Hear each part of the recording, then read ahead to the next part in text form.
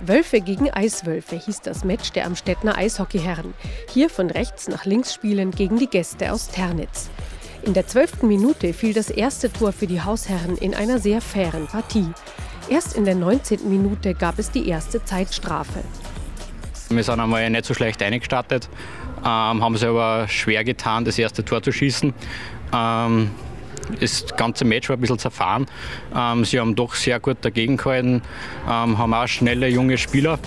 Und das zeigten die Eiswölfe aus Ternitz im zweiten Drittel. Nach einigen Chancen holten sie den Rückstand auf und stellten in der 32. Minute auf 1 zu 1. Doch die Antwort der Amstettner Wölfe ließ nicht lange auf sich warten. Gleich im Anschluss legten die Hausherren wieder auf 2 zu 0 vor. Die Wölfe blicken auf eine perfekte Herbstsaison zurück. Der Wechsel in die niederösterreichische Liga war kein Fehler. Grundsätzlich können wir zufrieden sein, glaube ich.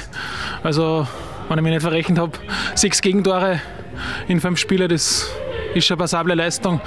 Ich glaube, wir haben jetzt noch gewaltig Luft nach oben. Also es sind die kleinen Details, haben wir noch nicht so sicher, wie wir es noch im Playoff benötigen werden, aber ich denke, das werden wir noch hinkriegen. Im letzten Drittel konnten die Wölfe dann noch zwei weitere Tore erzielen. In der 42. Minute fiel das 3 zu 1 für Amstetten und erst in der 60. Minute der Treffer zum Endstand von 4 zu 1. Das Erfolgsrezept der Wölfe liegt in der Generationenarbeit.